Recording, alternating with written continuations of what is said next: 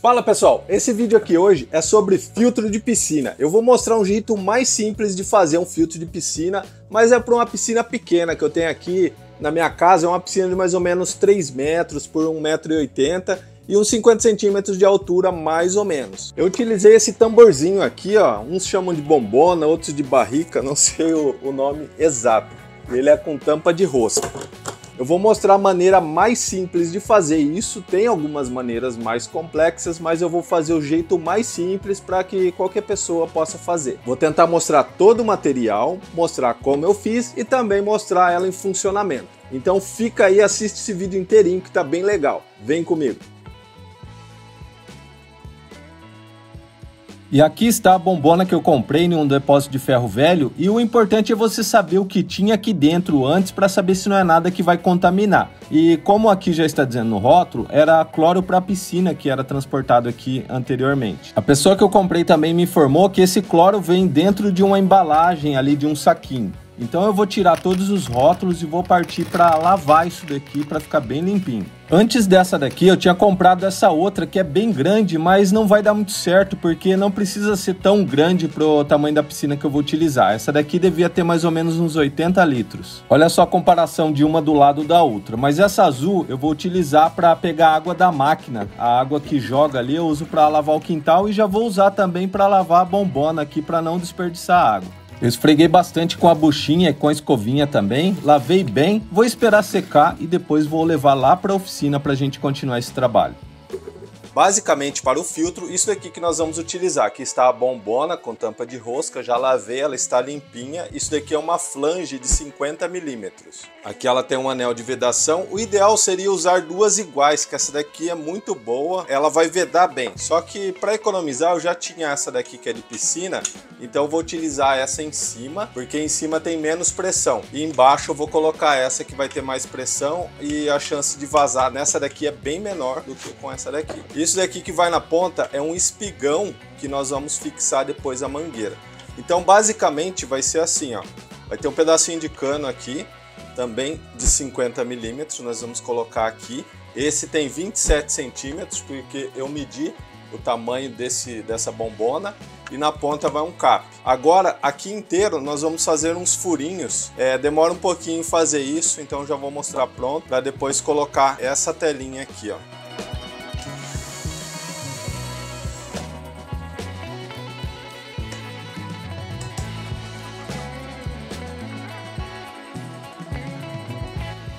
Cano todo furadinho vai ficar desse jeito. Não tem necessidade de ficar milimetricamente certinho aqui, porque é mais por um visual mesmo, por isso que eu tentei deixar mais ou menos cada um a 2 centímetros de distância um do outro. Agora eu vou colocar ele aqui.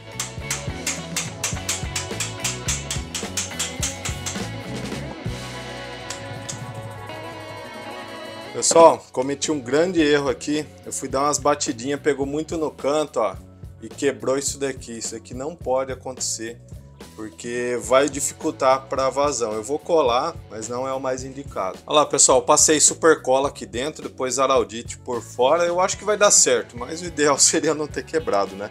Agora o próximo passo é enrolar essa telinha aqui, ó. Passar ela por toda a volta e interessante que você tem que ir até a ponta aqui, ó, tem que tampar porque senão vai passar areia, que a areia de quartzo, ela vai passar pelos furinhos, então tem que dar toda a volta aqui e aqui também. E na ponta de tudo vai o cap. Eu não passei cola, por quê? É, eu acredito aqui que não vai exercer uma grande pressão aqui, porque a água vai vazar aqui, vai ter uma boa vazão o filtro. Então eu não vou passar cola, porque se eu precisar mudar alguma coisa depois é só tirar. Mas fica a critério, se você quiser colar, passar a cola para tubo de PVC, mas eu acho melhor não passar a cola. Agora eu coloquei a braçadeira de nylon aqui, ó, e vou cortar todos os excessos dela. Vou cortar também esse excesso da telinha que está sobrando aqui.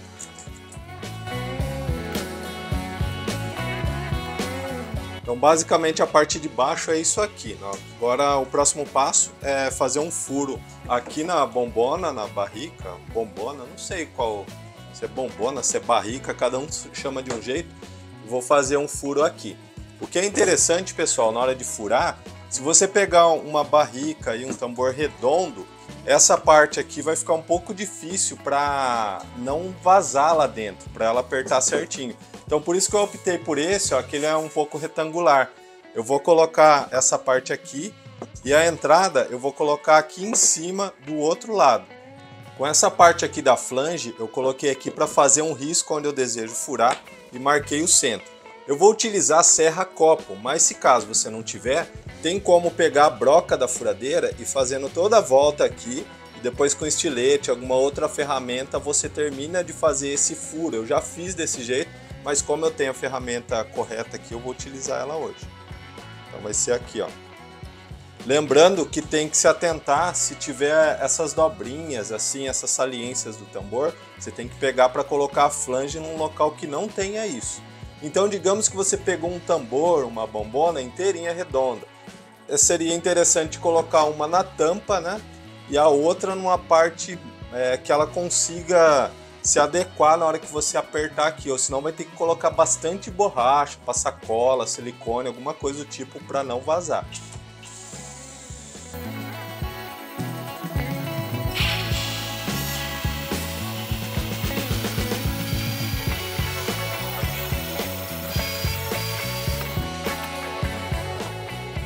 Olha lá pessoal, deu certinho, só que vai ser o inverso, vai ser isso aqui de dentro para fora, né? E é essa parte que vai ser aqui fora. Bom, aqui está pronto, fiz o furo já dos dois lados, aqui a entrada e aqui a saída. Uma informação importante, na flange só vem um anel de borracha, por quê? É, ela vai apertar, ele vai ficar lá dentro e ele não vai deixar a água sair por aqui. Não sei se será preciso, mas por precaução eu fiz mais alguns com câmara de ar de pneu. Ó. Então, é só por precaução mesmo que esse vai ficar por fora. Fixei os dois, vamos ver lá dentro como que tá, ó. tá vendo? Lá embaixo, ó, é aquele cano que tá furadinho, que é onde a água vai sair. E aqui nesse cap aqui é por onde ela vai entrar. Talvez eu coloque algum outro, um espigão aqui dentro, só para a água não escorrer bem na lateral, para ela vir mais para o meio. É, talvez dá para pôr um caninho para ela vir até aqui no meio e não só entrar escorrendo aqui pelo canto. Mas não sei se é necessário também, vou fazer alguns testes. Essa é a tampa, ela é um pouquinho diferente, ó. Esse aqui é como se fosse o anel de vedação dela, é separado. Então ele vai aqui em cima e depois rosqueia. Tem algumas que é de borracha, tem uma borrachinha aqui dentro. A outra bombona que eu tenho é assim. É interessante pegar as que tem essa vedação, porque senão vai vazar. E aqui eu já coloquei ela no local apenas para fazer um teste, não é definitivo ainda. Eu fiz desse jeito aqui, ó, sai a mangueira lá da piscina, tá vendo que a água tá bem verde, já joguei o produto ali para ela começar a limpar. Aí vem aquele tubo, entra aqui em cima nesse filtro e lá embaixo já sai a água limpa. Lá embaixo eu vou colocar essa manta filtrante bem em cima daquele cano é mais ou menos a largura ali do tambor, da bombona que eu cortei. Coloquei uma, eu acho que eu vou enrolar ela ali por volta daquele cano furadinho, desse jeito aqui e a próxima eu vou colocar em cima protegendo tudo. Esse próximo passo é muito importante o que vai definir a filtragem também junto com a manta, que é a colocação da areia para filtro de piscina. Essa areia específica para isso. Eu comprei isso daqui em loja de piscina, esse saco tem 25 quilos. Comprei dois, mas creio que eu vou usar um só de cada vez que eu for colocar no filtro. O nome correto dessa areia é areia de quartzo para filtro de piscina, vende em loja de filtro de piscina ou de tratamento de água e você pode perceber aqui pelo vídeo já dá para ver que ela é diferente. Então não adianta tentar com areia de construção que não vai dar certo. Aqui atrás tem algumas informações, ó, areia de quartzo, é, minério de quartzo, né? Granulometria precisa e específica para esse tipo de trabalho aqui. Então eu vou colocar isso daqui lá dentro, pessoal. Coloquei apenas um e vou fazer um teste, mas eu creio que é só um que vai dar certo para esse tamanho de filtro. Não vou precisar abrir o segundo, vou deixar o segundo guardado. Agora em cima de tudo, eu vou colocar mais uma mantra filtrante, que é para garantir que não vai voltar areia ali por onde estiver entrando a água da piscina. Agora eu abri um pouco a tampa para encher aquele tambor para tirar todo o ar, porque a bomba não pode funcionar com ar dentro da mangueira. E também tirei a, o ar que fica ali dentro de, desse pré-filtro da bomba. Ali também tem que estar tá cheio de água. Então é só abrir, na hora que encher você tampa de novo. É só fazer isso rapidinho para não desperdiçar muita água. E agora que está tudo cheio de água, pessoal, eu vou ligar essa bomba aqui, vamos testar e você vai acompanhar junto comigo. É a primeira vez que eu vou ligar ela. E olha só, assim que eu liguei, saiu um pouco de sujeira ali, que vem acho que da areia mesmo, assim que você coloca, mas depois a água começou a sair mais limpinha. Mas já estou vendo um problema. Tá vendo que o filtro está um pouco encolhido? A bomba está puxando muito mais água do que o que está dando conta de encher ele apenas com a pressão da piscina e está vazando um pouquinho ali também. Então eu creio que eu vou ter que mudar alguma coisa aqui, vou pensar certinho o que eu vou fazer e volto para mostrar para vocês. Mudança de plano, pessoal. Eu tive que inverter porque a bomba é tão forte que ela estava começando a esvaziar o filtro e aí começava a faltar água na bomba. Então agora eu fiz ao contrário. A água vai vir da piscina, vai entrar na bomba e agora vai sair e entrar lá. Eu não sei se a tampa vai aguentar porque a rosca parece que não estava encaixando muito bem. Vou ligar aqui, vamos ver. Ih, a tampa não aguentou. E olha lá. Nossa, meu Deus. Ó, pessoal, realmente não deu certo. Já tentei de vários jeitos. Coloquei até parafusinho aqui, ó. Mas na hora que eu ligo a bomba, é muita pressão e ela vaza. Vai começar a vazar por ali, tá vendo? Porque eu acho que essa tampa aqui tá espanada. Então, eu vou ter que mudar tudo isso daqui. Então, para resolver e não gastar com uma nova bombona, porque essa tá com a tampa espanada, o que eu vou fazer é utilizar aquela outra grandona que eu mostrei no começo do vídeo. Vou ver se dá certo com ela, porque não tô afim de gastar dinheiro para comprar outra dessa, sendo que é só a, a tampa aqui, né, que não tá funcionando legal. E aquela outra lá, ela rosqueia bem a tampa, ela tá vedando bastante, ela tem uma borrachinha dentro. Então, acho que com a outra vai dar certo. Tudo que eu fiz nessa considero agora que eu vou fazer na outra, porém um pouco maior. Pessoal, achei uma solução, não ia adiantar pegar aquela bombona maior, porque o problema é a pressão da bomba. Ela é uma bomba profissional e tem uma pressão muito forte. Então eu fiz um filtro por gravidade. Vem ver como é que funciona. Eu vou ligar aqui.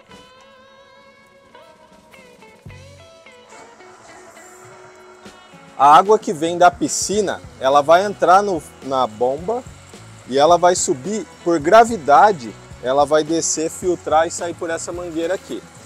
E aí o que acontece? Como é uma bomba que tem muita vazão, se ela encher, na hora que chegar nesse nível aqui, essa outra mangueira vai fazer a função para escoar a água e não deixar ela transbordar. Ó, essa é a vazão da água que vem direto da bomba. Então aqui está só provisório amarrado com arame mesmo você pode perceber que o nível da água está até aqui. E essa é a vazão que está saindo do filtro. Se caso essa daqui tampar, ela vai começar a encher. Aí entra a função naquela outra mangueira. Então vai ter uma vazão dupla ali se caso acontecer dela encher. Na verdade, o que inverteu aqui que vai ser um filtro por gravidade. Então tem grande chance de dar certo e pode olhar a água como tá. Filma ali a água para a gente ver, ó. É, antes a água estava assim e agora a água está assim. Eu só coloquei algicida ali, não tem nenhum outro produto, foi só para tirar as algas e o filtro já conseguiu fazer todo esse papel aqui. Agora que nós já fizemos todos os testes aqui está funcionando, eu vou resolver as próximas questões aqui. Tá com alguns vazamentos nas emendas das mangueiras, então vou passar mais fita veda rosca. Tem que fazer uma base e uma, como se fosse uma casinha de máquina para guardar tudo isso daqui. Eu estou pensando em fazer aqui do lado uma plataforma de alvenaria mesmo, com uma viga, talvez um cano de PVC com estrutura metálica dentro. E lá embaixo também fazer uma base de alvenaria para colocar a bomba. Aí a bomba vai ficar aqui embaixo, já protege ela para não molhar, porque essa bomba não pode tomar chuva. E esse filtro vai ficar aqui em cima desse lado. E também esconder todas essas mangueiras aqui, passando tudo por trás da parede de pallet. Então vou deixar filtrando mais um pouco, enquanto isso eu vou fazer toda a parte de alvenaria. Eu tirei todas as peças aqui, a bomba e o filtro, para fazer a parte de alvenaria. E olha só o que nós vamos fazer. É, mais ou menos aqui a 65 centímetros, ó, até coloquei uma chave de fenda aqui para fazer uma estaca por 45 centímetros. Eu vou tirar a terra nesse local aqui, ó, tirar a grama e fazer esse retângulo aqui e vou fazer essa parte aqui tudo de alvenaria que vai ser mais ou menos dessa altura aqui, ó, que é a mesma altura desse degrau aqui que é onde vai ficar a bomba da piscina. Ela vai ficar protegida. E vou colocar um cano, é, mais ou menos, acho que um cano de 100 milímetros, subindo aqui, que vai ser como se fosse uma viga dentro dela. Vai ter ferro e aqui vai ter a base, tem que ser bem resistente, porque é, só de areia ali tem 25 quilos, a bombona inteira em torno de 50 litros, então no mínimo 50 quilos tem ali, deve ter bem mais. Então isso tem que ser bem resistente. É, também, como a terra aqui é mole, eu vou ter que cavar um pouquinho e compactar ela, vai ter que socar, né? Pegar uma madeira, assim, um soquete e deixar ela bem firme para então fazer a parte de concretar aqui e vocês já vão acompanhar comigo. Olha pessoal, cavei ali ó, mais ou menos uns 40, 50 centímetros de profundidade, já soquei a terra, tá bem retinho ali. Essa tábua aqui é só para encher de concreto, aquele tijolo vai ficar ali, vai ajudar a não gastar muito concreto. Já tinha sobrando aqui. E agora eu vou colocar esse cano aqui. E depois a intenção é colocar uma estrutura metálica aqui dentro e aqui ó, fazer uma base seguindo o mesmo tamanho lá de baixo, aqui em cima. E isso daqui vai ser como se fosse um pilar para segurar essa base e talvez eu, eu quebre um pouquinho aqui para ela embutir e entrar aqui o concreto, ficar bem forte isso daqui. Eu quebrei ali dentro para o concreto entrar e ficar um pouco mais forte. As pontas dos ferros eu vou colocar ali também e na base aqui em cima. Então vai ficar desse jeito, ó. O cano vai aqui. Dentro desse cano vai uma ferragem essa madeira aqui, ó, que é a caixaria, eu já aproveitei madeiras que já tinha aqui, que eu faço nos vídeos, e vai ficar mais ou menos assim. Agora tem que prender tudo isso aqui, colocar os ferros e depois eu já posso concretar. Como a ideia é sempre reaproveitar, pessoal, eu vou usar todos esses ferros que eu tenho sobrando aqui, ó, pedaço de grade. Eu tenho uma treliça que sobrou uma vez de uma obra aqui em casa, então eu vou cortar e vou amarrando ela com arame lá dentro, até preencher todo o local que a gente precisa reforçar ali com ferragem. Nesse cano que será a coluna, eu fiz alguns furos nele para atravessar alguns ferros na hora que ele estiver lá dentro assim, ó, para amarrar esse ferro na base ali é, nos outras ferragens que vai ter ali para ficar bem resistente. E aqui dentro eu vou colocar essa treliça aqui, ó, ela vai entrar bem justa. Acho que eu vou ter que bater um pouquinho para ela entrar. A ferragem da parte de baixo está praticamente pronta. Tá feio? Tá bem feio. Mas aqui depois de pronto, ninguém vai ver. O importante é ficar bem resistente. Então ali você pode ver que eu coloquei dois tijolos embaixo, porque se ela ficar encostada na terra, o concreto não vai preencher tudo. Então tem que ficar mais ou menos no meio. Dois pedaços de treliça, os pedaços de ferro que eu tinha ali. E a outra treliça eu coloquei aqui dentro entortei as pontas dela. E a outra treliça eu coloquei aqui dentro, entortei as pontas e ela está indo até lá no fundo. Tá escuro, não dá para ver, mas eu tenho certeza que ela tá até lá no fundo. E alguns ferros estão atravessando ali para sustentar também, dar uma resistência maior na hora que secar todo o concreto aqui. Pessoal, agora está pronto para concretar. Só falta eu confirmar aqui se está tudo no nível certinho. Então a parte de baixo lá, ó, os ferros desse jeito aqui. Vou confirmar a coluna se ela está no nível, se não precisa mudar um pouquinho e confirmar isso daqui também se está no nível.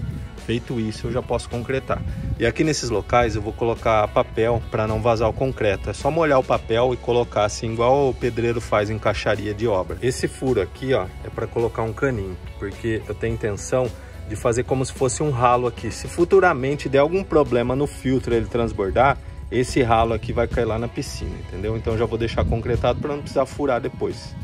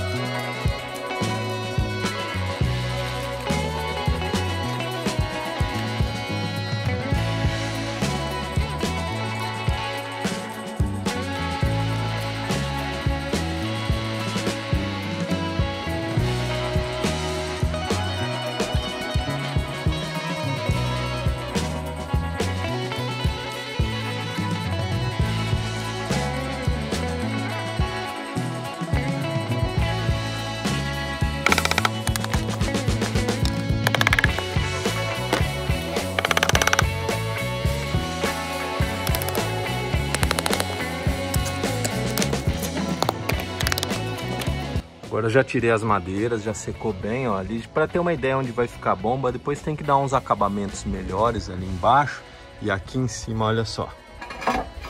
Eu já recortei um piso, ó. Tá vendo que ele encaixou perfeito ali? Olha lá.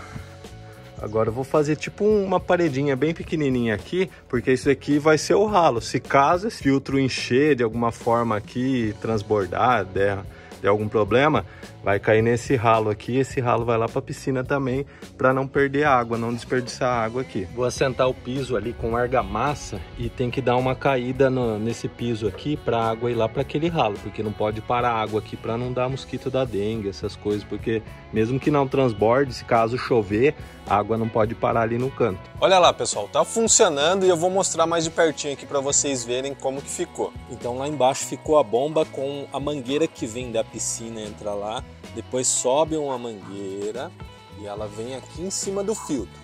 Aí por gravidade a água desce, passa dentro da areia de quartzo e vem por aquela mangueira lá atrás e cai lá na piscina. Quando está passando muita água na bomba, isso daqui enche, aí aquela mangueira ali, que está passando ali atrás do filtro, ela também volta e vem lá para a piscina. E se caso der errado tudo, não deu conta lá embaixo, nem ali em cima, e ela começar a transbordar por aqui, vai cair aqui nesse piso, que é como se fosse uma pia, né?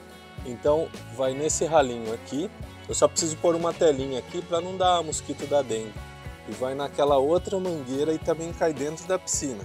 Agora, a única coisa que falta aqui é melhorar o visual, esconder mais essas mangueiras aí, mas já está funcionando.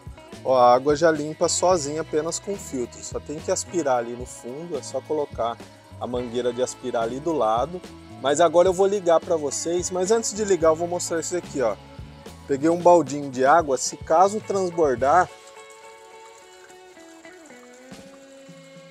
olha lá, ele vem cai dentro da piscina também, tá vendo?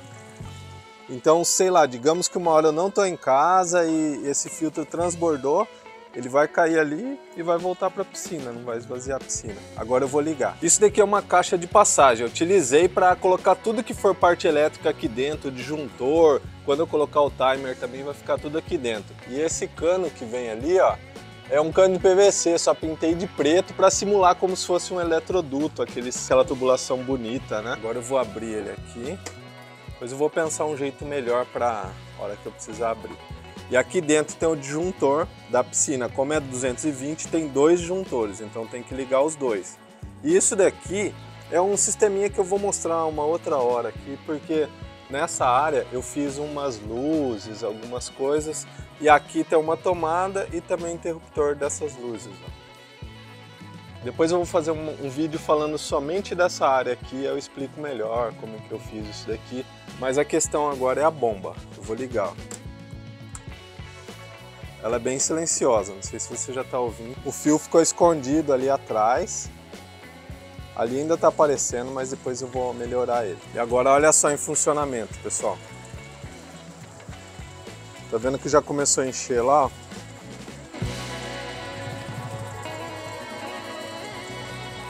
Lá dentro você pode ver que já está caindo um pouco de água ali, porque como a vazão era muito grande, eu coloquei um T. Então cai metade da água para a gravidade ali e metade como se passasse direto, mas como a vazão é muito forte da bomba, tem uma vazão muito boa, é, mesmo assim a água filtra em pouquíssimo tempo. Como é uma piscina pequena, em torno de 40 minutos é, já filtrou a água da piscina inteira. E ali, ó, nessa outra mangueira tá saindo a água filtrada. Essa daqui praticamente está saindo sem filtrar.